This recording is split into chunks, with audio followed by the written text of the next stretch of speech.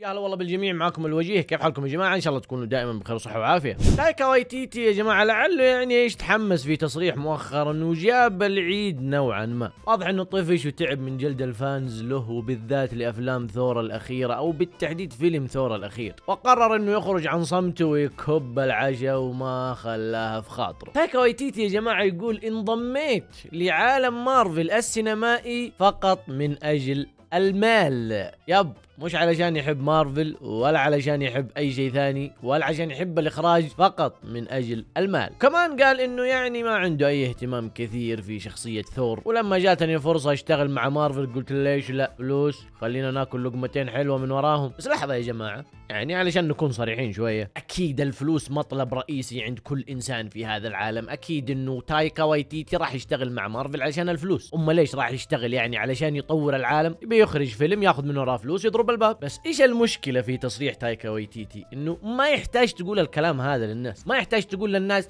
آه أنا اشتغلت عشان الفلوس بس. ما له لازمة. في أشياء يعني ليتك ساكت. مثل ما قال المثل يعني كل فطير وطير يا ما له لازمة ذي التصريحات. المشكلة وين؟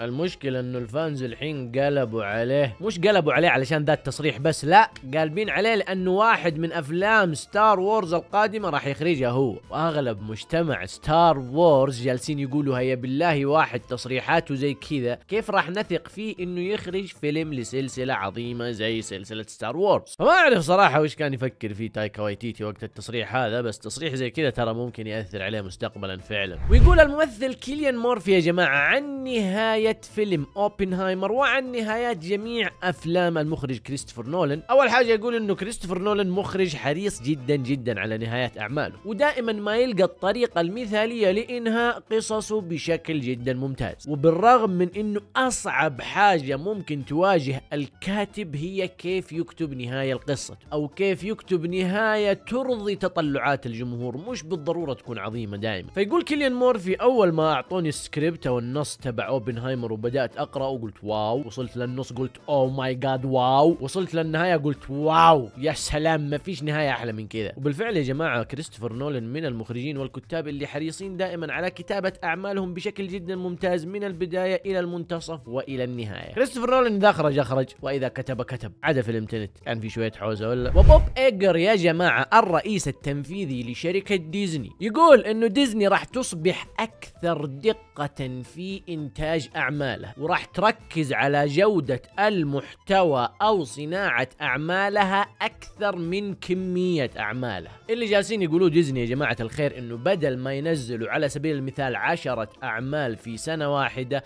راح يقللوا كمية الأعمال هذه ويركزوا في إخراج أعمال أقل بحيث يرفعوا الجودة ويقللوا الكمية فمعناته إنه عدد أعمال أقل في السنة يساوي جودة أعلى. وهذا الشيء مرة ممتاز ويا ليت كل شركات الإنتاج يسوونه. بدل ما ترمي لي عشرين ألف عمل في السنة وكلها مضروبة نزل لي اثنين ثلاثة في السنة وتكون ممتازة. يا سلام أنا كذا مرة راضي. وهذا أفضل قرار صراحة ممكن يعملونه ديزني. ممكن تعملوا أي شركة إنتاج. ما عدا نتفليكس. نتفليكس موقعين عقد مع إبليس. موضوع مختلف. ولو تفكروا فيها زمان الأعمال القديمة لديزني كان ينزل كل كم سنة فيلمين ثلاثة بس تكون على جودة عالية جدا. والحلو في الموضوع إنه إلى يومنا هذا إحنا جالسين نتابع الأعمال القديمة هذيك لأنها مرة جودتها عالية. قصص جميلة حوارات جميلة إخراج جميل تصوير جميل رسومات جميلة إن كان فيها رسومات أو تحريك شيء جدا جميل. هذا أفضل شيء ممكن تسوونه ديزني. keep up والموسم الثالث من مسلسل The Bear راح يتم البدء في تصويره في شهر فبراير من سنة 2024 بحيث ممكن نشوفه بعد منتصف أو في المنتصف الثاني من سنة 2024 أو على نهاية 2024 ولو ما تابعت مسلسل The Bear بالرغم من إني تكلمت عنه قبل كذا أكثر من مرة ولكن لو ما تابعته أحب أقول لك مرة مرة لازم تعطي المسلسل هذا فرصة. عمل درامي خفيف لطيف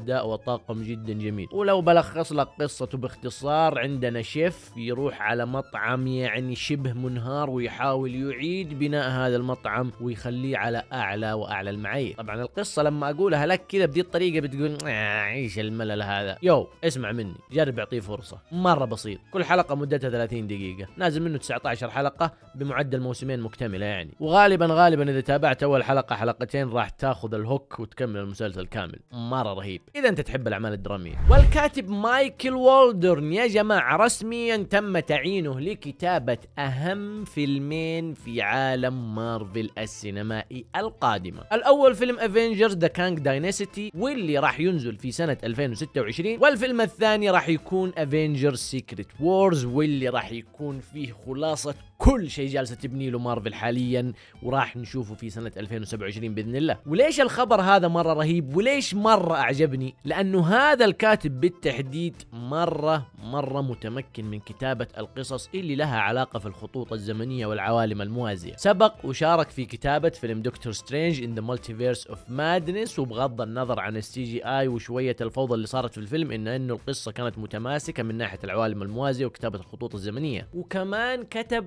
مسلسل لوكي. وكلنا نعرف إنه مسلسل لوكي بسم الله ما شاء الله ولا غلطة. لا وكمان كتب حلقة من حلقات Rick and Morty. وكلنا نعرف animation Rick and Morty مو فوضى عوالم موازية فوضى أشياء كثيرة. وكون أصلا توجه مارفل حاليا رايح للعوالم الموازية والتعمق في العوالم الموازية. فطبيعي إنه يتم تعيين كاتب قادر إنه يكتب شيء مناسب لهذا العمل المعقد. ويعرف يسيطر على فوضى العوالم الموازية والخطوط الزمنية. ويطلع لنا بفيلمين اخيره ل Avengers 2026 و27 بشكل جدا جدا. مرضي مثل Infinity War و Endgame لأنه شوف ممكن إحنا نسامح الأفلام البايخة اللي جالسة تصير الحين.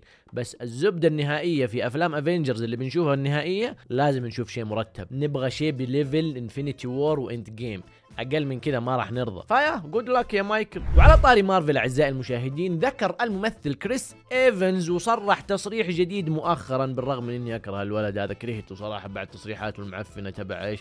لما كان يشتم فينا. حيوان. يقول إنه ما سبق وأحد تكلم معاه عن عودته ككابتن مارفل إلى عالم مارفل السينمائي. كابتن أمريكا sorry. يقول دائما أسمع إشاعات في السوشيال ميديا. أوه كابتن أمريكا بيرجع. أوه ايرون مان يمكن بيرجع. بلاك ويدو كمان بترجع. يقول الكلام هذا. أنا ما أدري من وين الناس قاعدين يجيبوه بس ترى يا جماعة ما حصل إلى الآن ما في شيء. شوفوا يا جماعة خلوكم من السبك هذا الخبيل. ركزوا معي فيلمين افنجرز الأخيرة اللي بتنزل سنة 2026 و27 التقريبية يعني التواريخ التقريبية لها غالبا راح تصير فيها رجعات مرة كثيرة. غالبا راح نشوف ايرون مان نعم بس هل يكون توني ستارك ولا لا؟ ما أدري بس غالبا بنشوف ايرون مان بنشوف كابتن أمريكا بنشوف شخصيات كثيرة من العوالم الموازية. لأنه فكرة إنك تفك العوالم الموازية معناته إنك تقدر تستدعي أي شخصية تبغاها حتى لو شخصية ماتت حتى لو شخصية اندفنت حتى لو شخصية ما عاد لها وجود. تقدر تجيب ثانوس من جديد تقدر تسوي أشياء كثيرة كونك بدأت تتطرق للعوالم الموازية. فكرة ان نشوف كابتن أمريكا وأيرون مان وبلاك ويدو وايا كانت الشخصيات ما زالت مطروحة وأشوفها واردة جدا. في أفلام مارفل وبالذات أفلام افنجرز اللي بنشوفها سنة 26 و27 يقول لك في لعبة سبايدر مان 2 اللي نزلت قبل فترة على البلاي ستيشن كان مفروض إنه مايلز يتحول إلى symbiote بس ما حصل نصيب وكنسلوا الفكرة في آخر لحظة. حرام. والله كانت فكرة كويسة. ليش كنسلتوها؟ أتوقع قال لك يا أبوي كفاية. بيتر باركر تحول symbiote وام جي تحولت. مين كمان ما تبغى يتحول symbiote لا قال لك خلي مايلز يسلم من الفوضى هذه. ممكن يتحول symbiote بعدين الله أعلم. هي مرة كانت بتكون حلوة لو صارت بس عادي ما أثرت كثير. كلنا نعرف يا جماعة سلسلة هانج اوفر الشهيرة. سلسلة مفلسعة وكلها فوضى وكوميديا وضحك لا نهائي. الجزء الأول كان مرة perfect الجزء الثاني كان كويس الجزء الثالث خخ سليكي ويلا مشي الحال. المهم ما لكم في الطويلة يا جماعة سألوا الممثل برادلي كوبر وقالوا له لو لو يعني لو لو حصل وصار في جزء رابع من سلسلة ذا هانج اوفر هل راح تقول لهم تم؟ ولا بتقول لهم يا جماعة خلاص حلبتوا أم السلسلة كفاية؟ ورده كان متوقع وغير متوقع في نفس الوقت ما نعرف كيف أقول لكم ولكن قال لهم اي صدقوني لو يقولوا في جزء رابع لسلسلة هانج اوفر بقول لهم تم توكلنا يلا خلونا نصور. واضح إنه السلسلة هذه مرة عزيزة على قلبه وصراحة هي يعني لها دور كبير في صناعة نجومية برادلي كوبر وبرادلي كوبر بغض النظر ممثل جدا رهيب وأحب له أدوار مرة كثيرة. أنت إيش رأيك؟ لو صار في هانج اوفر رابع تأيد الفكرة ذي. لو فاكرين يا جماعة قبل فترة نزل فيلم أوبنهايمر بجودات عالية وممكن معظمكم شافوا على الإنترنت بجودات عالية أو ممكن بعضكم طلب أونلاين ايا كان. في نفس الوقت اللي نزل بنسخة عالية على الإنترنت نزلت منه نسخ أقراص DVD بجودة عالية 4K بالتحديد أو نسخ ال 4K منه. الشركة الموزعة اللي وزعت أقراص ال DVD وأقراص ال 4K هذه حول العالم تقول طبعنا كميات مرة كثيرة حلوة طبعنا صنعنا كميات مرة كبيرة من أقراص ال 4K لفيلم أوبنهايمر ونشرناها حول العالم وفي متاجر كثيرة وخلصت. كذا خلصت. بوم ما عاد في اوبنهايمر 4K في الأسواق. ليش؟ ليش؟ من جدك تسأل. 4K واوبنهايمر مين يقول لأ؟ والآن الموزع يقول أبشروا أبشروا بالخير. صدقني الآن نصنع المزيد من النسخ ونوزعها في الأسواق. لأنه ليش لأ؟ العالم يطلب المزيد من اوبنهايمر 4K اعطيهم المزيد من اوبنهايمر 4K واللي راح يتحول الموضوع إلى سوق سوداء بعدين. زاك سنايدر يا جماعة يقول إنه مدمن على لعبة فورتنايت. yep زاك سنايدر مش بس أنت بل إنه يقول زوجتي دائما تصيدني الساعة 3 في الليل وأنا ألعب معرق فورتنايت وجالس ينزل Tilted يجلد في الرايح والجاي. و skin ه المفضل يقول اللي يحب يلعب فيه هو هذا ال skin. نسيت اسم الشخصية ولا في أمي حيل أبحث بس هذا ال skin. فإذا يوم من الأيام نزلت Tilted وشفت هذا ال skin قاعد يمحط في الرايح والجاي فغالبا أو ممكن قد يكون هذا زاك سنايدر متكي الساعة 3 في الليل في صالة بيتهم وجالس يمحط فيك. وفيلم أليتا باتل أنجل اللي نزل سنة 2019 ونهايته كانت مفتوحة وواضحة إنها لها تكملة وتقول إنه في جزء ثاني. إلى يومك هذا ما شفنا جزء ثاني ولا حتى مسلسل ولا أي شيء. مع إنه الفيلم كان مرة ممتع وجميل وشيق وأفتكر إني تابعته وقتها أول ما نزل وكنت مرة متحمس لما شفت له تريلر. ولكن ما أعرف إلى الآن ليش ما سووا جزء ثاني منه. 19 20 20 21 22 23 خمس سنوات كمون انه فكرة صناعة جزء ثاني مكمل لأحداث الجزء الأول ما زالت مطروحة وما زال الكلام فيها جاري. عاد ممكن ممكن نسمع تصريح قريب إنه تم البدء أو تمت الموافقة على تصوير جزء ثاني من أليتا وممكن ينسحب عليه. ماني عارف صراحة. بس من وجهة نظري جزء ثاني مرة ما هو غلط. بعدين هوليوود يا أخي سايقين أمها. أفلام رخيصة وزبالة من 1990 وما زالت تنزل لها أجزاء إلى الآن.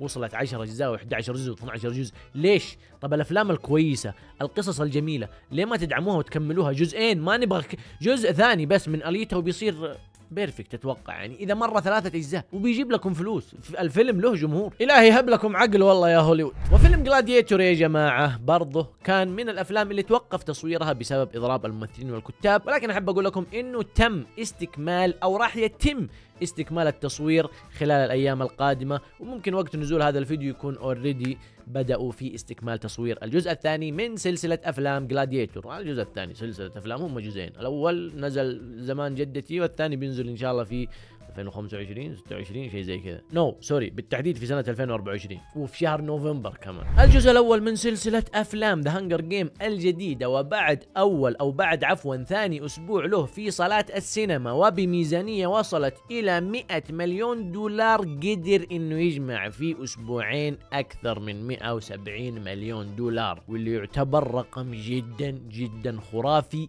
في ظل الظروف الخايسة الحالية اللي قاعد تصير في هوليوود. والحلو في الموضوع يا جماعة إنه تقييمات الفيلم إلى الآن ما زالت إيجابية والكثير من النقاد والمراجعين أشادوا بأن الفيلم يعتبر بداية جدا ممتازة لسلسلة جديدة. فلو أنت تبحث عن خيار جديد وشيء تتابعه في السينما ذا هانجر جيم الجزء الجديد من السلسلة بيكون خيار مرة كويس. ومشاهدة ممتعة مسبقا. وفيلم نابليون يا جماعة وبعد أول أسبوع له في صالات السينما وبميزانية وصلت إلى 130 مليون قدر إنه يجمع بس 80 مليون دولار. وصدقوني يا جماعة أنا للحين ما حصلت لي فرصة وجدولي ذي الأيام معطوب وتعرفوني ما أحب أم السينما ولكن بشوفه يوما ما. بس كثير من الناس اللي تابعوا الفيلم وبالفعل أثق في آرائهم مدحوا الفيلم وقالوا إنه الفيلم كويس. أبدا ما هو بالسوء اللي وصفه النقاد والمراجعين بسبب الأمور السياسية والتاريخية. بتروح تشوف فيلم احكم عليه على إنه فيلم مش سياسي مش تاريخي مش حاجة مقتبسة من قصة حقيقية. روح تابع الفيلم شوف أداء شوف قصة شوف cinematography واضرب الباب. إذا رحت بهذه الطريقة وبهذه العقلية ممكن يعجبك الفيلم. عموما القرار قرارك. إذا بتحب الفيلم موجود في السينما. وفيلم The Marvels يا جماعة وبعد ثلاثة أسابيع من عرضه في صالات السينما وبميزانية وصلت إلى 220 مليون دولار قدر إنه يجمع بس 190 مليون. دولار. ليش تقولها كذا وانت زعلان يا وجيه؟ لأنه ثلاثة أسابيع. وكل ما يمر أسبوع كل ما تقل الإيرادات. و190 مليون باقي كم على ال 220 مليون؟ مرة صعب إنه يوصل لهذا الرقم.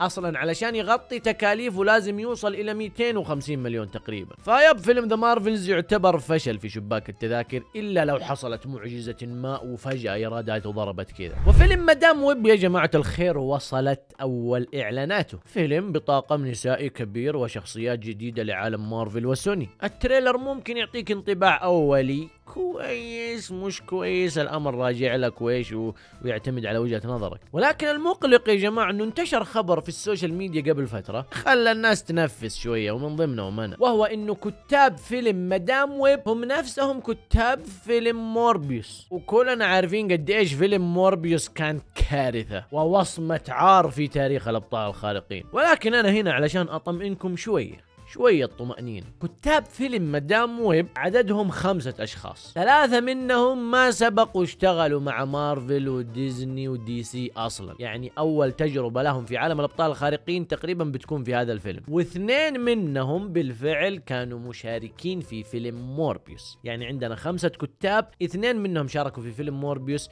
وثلاثة منهم جديدين. علشان كذا قلقنا ممكن يقل عدد كتاب أكبر ممكن يكون في حرص ونتيجة أفضل كقصة. الله أعلم يعني أنا جالس أحاول أطبطب وأليس الموضوع بس واضح إنه الفيلم بيكون كارثي على الوضع الفوضوي ذا. لكن كالعادة خلونا نتفائل إحنا إيش ورانا؟ نتفائل. ما عندي أي ما في أي أحد في هذا العالم عنده مشكلة إنه يتابع فيلم حلو. بالعكس يا رب يكون الفيلم حلو. ويقول زاك سنايدر والله حركات اليوم عندنا خبرين عن زاك سنايدر ها. يقول زاك سنايدر إنه مرة زعلان على وضع أمبر هيرد وكيف الناس في السوشيال ميديا إلى يومنا هذا ما زالوا ينتقدونها ويشتمونها ويقلوا أدبهم عليها رايحين جايين. فيما معناه يعني يقول مش معقوله خلاص البنت غلطت غلطة وأخذت جزاها وانت قفل الموضوع. ليش إلى الآن العالم جالس يقسو عليها؟ والله أنا ما أدري صراحة. أنا الموضوع ذا أمبر هيرد قفلته من زمان ورميته. لكن الموضوع انحط مرة من جديد. قاعدين ينفتح. كل ما نقعد ننساه يرجع ينفتح. وزاك سنايدر اليوم خش لنا في فورتنايت وأمبر هيرد عموما زاك سنايدر يقول أنا مرة متعاطف معاه وأتمنى لها التوفيق. لا وكمان لو جات فرصة إني أشتغل معاها راح أشتغل معاها من دون أي مشاكل. لأنه اللي راح راح. والماضي غلط. إننا نجلس نعاقب الناس عليه. حبيبي يا أخي حبيب زاك سنايدر. يا أخي أحبي له ذا الإنسان. الله يجيبك لنا إن شاء الله في عالم مارفل ونظبط المظبيط مع بعض. وختاما يا جماعة يفترض في أي لحظة من وقت تصويري لهذا الفيديو أنا قاعد أصوره. مش أمنتجه ولا رفعته على اليوتيوب لا وأنا قاعد أهرج الآن في ذي اللحظة. بدأت محاكمة الممثل جوناثان ميجرز اللي راح يكون البطل الشرير في سلسلة أفلام مارفل الجديدة. Kang. ولو ما أنتم فاكرين جوناثان ميجرز ضرب صديقته حاليا هو متهم بتهمة الاعتداء المنزلي. ومثل ما أنتم فاكرين برضو مثل ما تكلمنا في الفيديوهات السابقة القضية هذه أثرت مرة كثير على هذا الممثل. شركات كثيرة سحبوا عقودهم منه وشركات كثيرة كانوا حاطين الضوء عليه ورجعوا بطلوا. عموما يا جماعة القضية هذه لو فاز فيها كل شيء راح يرجع زي ما كان لأنه بيطلع في النهاية براءة. ولكن لو خسر فيها قد ينسجن إلى ما لا يقل عن سنة واحدة. يعني على حسب مزاج القاضي وعلى حسب الأدلة وهيئة المحلفين. أنا ما أعرف وش راح يكون مصيره في عالم مارفل بس إذا إذا انسجن وقالوا إنه خلاص بيتم استبداله سريع سريع. النهايه الموضوع سمعة يعني. شركات الإنتاج لحيتي ولا الف لحية. دقيقة يا جماعة قبل ما نقفل تدرون إنه مانجا ون بيس وصلت إلى 1100 فصل 1100 فصل لهذه القصة العظيمة والأسطورية. رقم جدا جدا ضخم. ناس يشوفون إنه تمطيط ناس يشوفون إنه حلب ناس يشوفون إنه كلام إضافي ما له لازمة وناس كثيرين يشوفون إنه بالعكس امتداد لسلسلة جدا رائعة بدأت بشكل جدا أسطوري واستمرت بشكل جدا أسطوري وقدمت الكثير من القصص الجميلة والدراما المؤثرة والأكشن المميز. الله يعطيكم العافية يا جماعة. كان معكم الوجيه. شوفكم في الفيديو القادم.